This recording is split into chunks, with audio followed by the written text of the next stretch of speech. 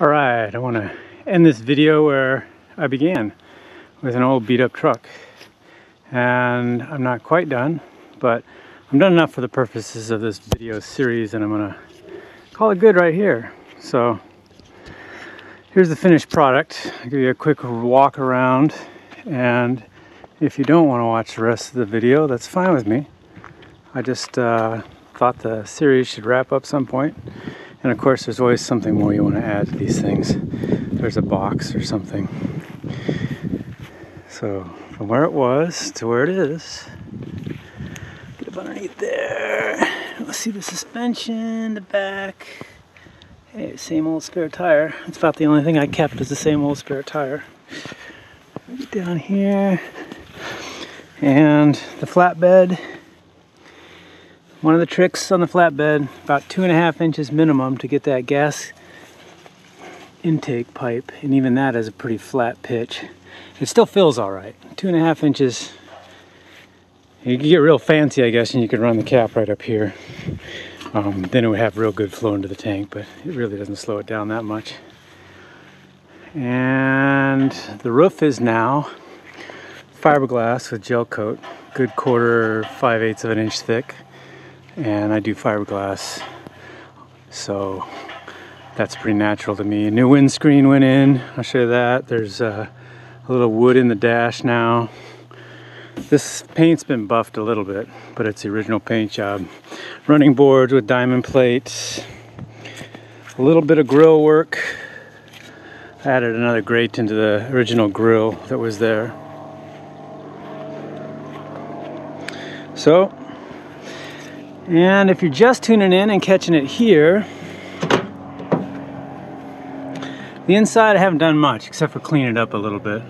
Clean the headliner, put a new mirror in because the other one was just terrible. I ripped the rotted dash apart and it's there's not really a part to put this whole dash back together again so later in the video I'll show you how I kind of tore that off and put a piece of wood in there when I replaced the windshield and painted the the black inside there. Things I still want to do is carpet, seats. Um, that's about it. Carpet and seats. Maybe uh, new speaker. Other than that, it's pretty fun to drive. And I'll do the box lid on another box. About it. Lessons learned, I'd say not too many. Not too many. I'm not dissatisfied with having these boxes here, even though I intentionally wanted to have them as a storage box. I just determined that it was just so expensive to get the hinges and fussy to get everything right, and, you know, for one cubic feet of storage. Um, that it really wasn't worth it. This big box will be worth it. I'm actually going to come out horizontal and then have a stacker plate that I can actually kind of lift off. So that the intent is to sleep across here and it's six foot six and some five and a half feet wide. So it's a giant picnic table at the perfect height to work off of. And at night, it's a bed. And I throw a tarp up over the top and I can roll a boat right up on top of it with the roller there. So yeah, overall it's a it's a gas to drive. Really happy I did it. Uh, engine runs really well now. I'll show you the internal compartment.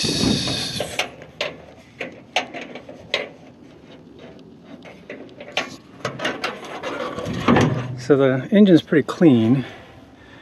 Clean air tank, or uh, air intake. Clean it up a bit, but I haven't done anything other than take the uh, air recirc tube off of the headers, which was leaking pretty badly and causing me a lot of irritation with uh, irregular timing. So block off plates for that, but in the future, plan is to rip the whole uh, carburation system out and go with a Weber.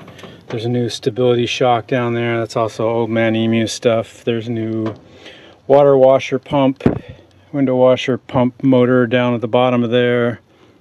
Other than that, same engine that's been in there for 19 years and it runs really well, especially when you strip the catalytic converter out and do a two and a quarter inch exhaust straight pipe. You get some torque out of it. Should even be better with a, a Weber. So, I repainted this, did the Bondo work, and this rim down here. Um, I might continue on with black. I might leave it as is. Uh, I don't know. Do whatever. Probably do new mirrors eventually. kind of like to do black. But uh, not in a big hurry to do anything yet. It's just a lot of fun. Been camping in it. Been driving it up to the mountains. Just been having a gas. Uh, nice old car. Good, good third vehicle for me. And a really fun project and I met a lot of fun people around town just uh, really interested in it and they have Toyotas or they had Toyotas and uh, they're really curious as to how it how it all came about how it all went together and I don't know I'm pretty stoked. Came out good.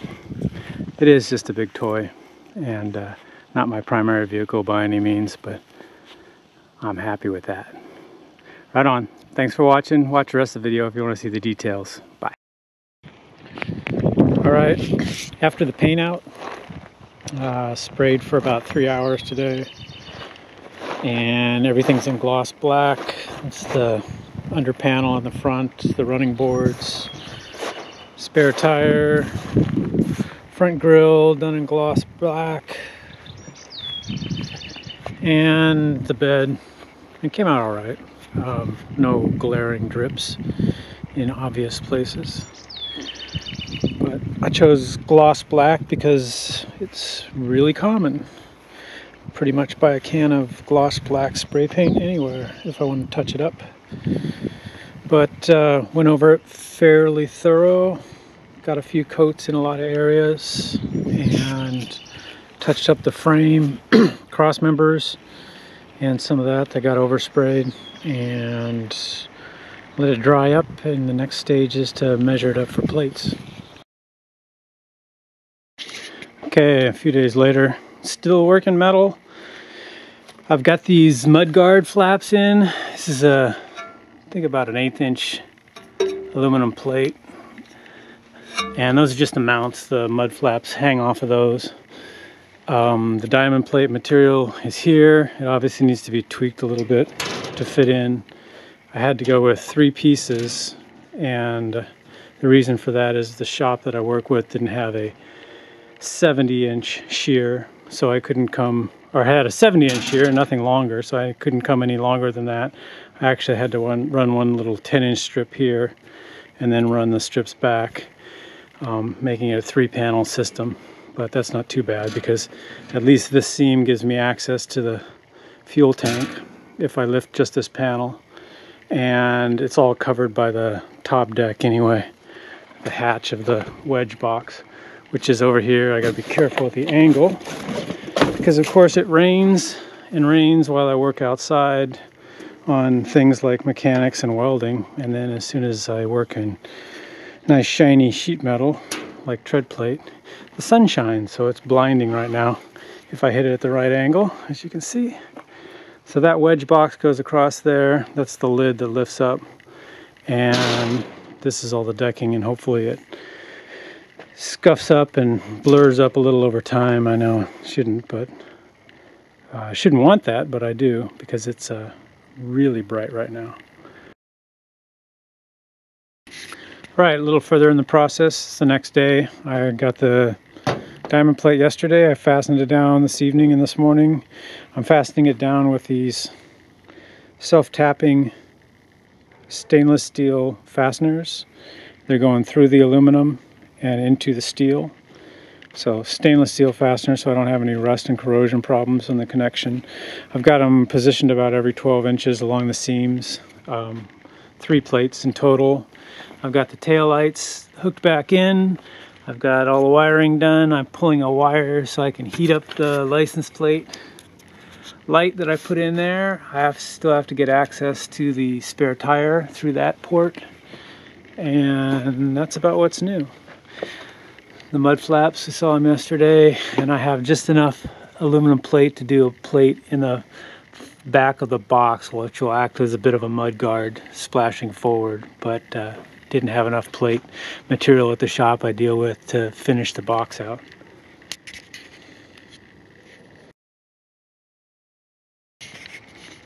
Alright, today the old bed is loaded up onto the new flatbed. And I'm hauling off to the metal recycle. And along with the tailgate, some bars from the inside, the rack rusted bars, uh, the old muffler system, just a bunch of scrap iron going in for the recycle. So another functional use of the flatbed. Get rid of the old bed.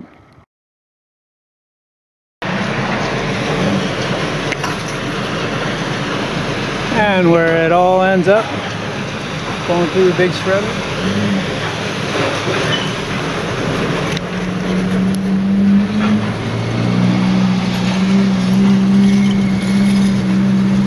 minced into little pieces. Comes out the other end.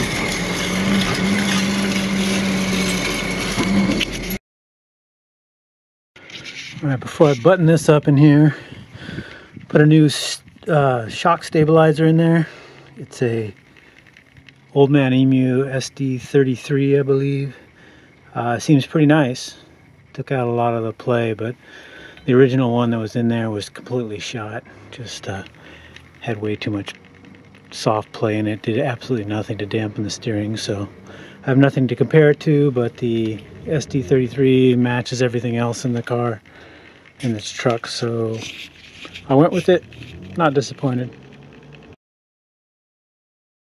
And another thing I did is I took off the original tailpipe, which I tried to use and it routed the exhaust from the muffler out between the tire and the uh, mud flap plate. And I got a 45 degree mandrel bend downturn, downturn and I'm shooting it out between the leaf spring and the spare tire in the back and seems to work so far. I only have a few miles on it, but it blows most of the heat out here.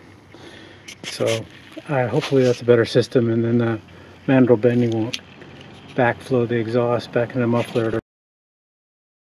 It's been a while since I did a video, but uh, kind of got into the body work. Wanted to solve an issue with water leaking down and leaking into the window right there and then dripping it inside the car. So I took the windshield out. I found a lot of rust, holes that I repaired with fiberglass, bondoed. There was a lot of dents up in the roof because these things are tissue paper thin.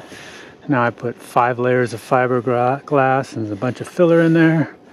And I'm gonna sand that smooth and probably give it a gel coat rather than a paint. Protect it from all the salt I put up on there. Um, down on the dash, since the dash is all split and horrible, um, I'm gonna cut it and try to replace it with wood as much as possible. Uh, I could go a full wood dash down, but I really don't want that big of a woodwork project. So I think I'm just gonna fill this area in with wood and then do a cover over it if I don't like it still. Uh, paint this area, which gets exposed to the sun and you can't get to it once you put a windshield in. So once I prep all that area out, I'll drop a windshield back in it and hopefully it'll stop the leaking issues. All right, I'll end it here with uh, one of the trips I've done up to uh, High Mountain Lake to do some kayak fishing with a buddy of mine. And uh, good luck with your project if you're going to take one on. It's a lot of fun. And thanks for watching my series.